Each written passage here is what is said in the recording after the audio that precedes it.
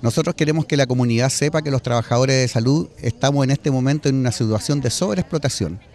Con el tema de la autogestión, las exigencias constantes y cada día son más y, no hemos tenido ninguna mejoría salarial en el lapso de los dos años y medio de gobierno que llega el presidente Piñera. De manera que la gente está simplemente indignada.